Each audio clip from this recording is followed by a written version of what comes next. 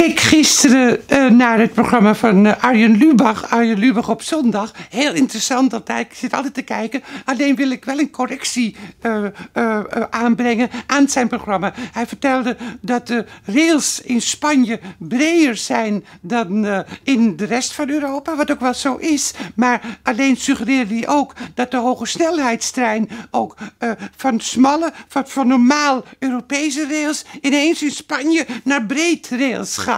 Maar dat is helemaal niet zo, Arjen, schat. Dat is helemaal niet zo, want de hoge snelheidslijn is allemaal volgens hetzelfde breedte in heel Europa. Dus van Parijs naar Barcelona en van Marseille naar Madrid gaat de trein met 300 kilometer over de grens heen. Dus dat wilde ik. Eh, en in heel Spanje ook alle hoge snelheidstreinen, de AV zoals ze daar noemen, die gaan allemaal over dezelfde spoorbreedte als in de rest van Europa. Nou, die correctie wilde ik even aanbrengen. Dan ga ik volgende week weer kijken.